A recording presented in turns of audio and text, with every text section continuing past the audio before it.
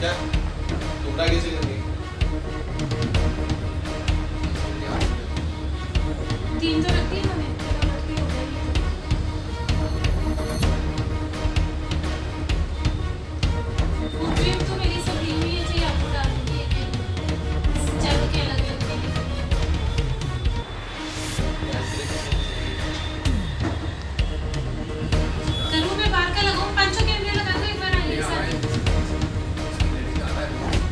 में थोड़ा रहा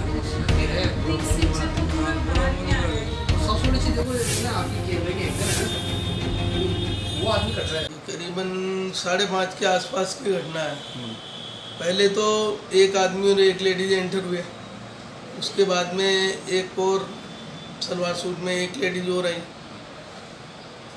और आके उन्होंने पहले तो मेरे से लॉकेट मांगी। लॉकेट पसंद करे बाद में उन्होंने चेन मांगी।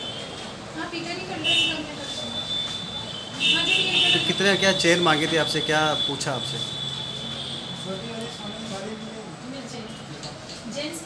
आपसे क्या आके पूछा उन्होंने? क्या बोला आपसे? उन्होंने कहा पहले तो कहा लोकेट दिखाओ।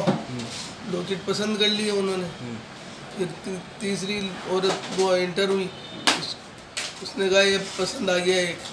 अब हमको चेन बता दो इस लोकेट में डालने के लिए। फिर कैसे उन्होंने वारदात को अंजाम दिया? कैसे? चेने में दिखाने लगा। दिखाते दिखाते वो झुक के मेरे डब्बे के पर ही हाथ डाल दिए उन्होंने। फिर मैंने कहा ऊपर रख के डब्बे वो उधर वो आदमी परेशान करने लग गया कि भाई मेरे को इस पे होल मार्क नहीं है वो है वो नहीं वो चेने देखने लगी। चेने देखते देखते उनमें से उन्होंने क्या हाथ की सफ़ाई की हो है हो उससे एक एक कर तीन चेने गायब कर दी कितने कीमत की चेन है वो? कितने? करीबन उसके बाद में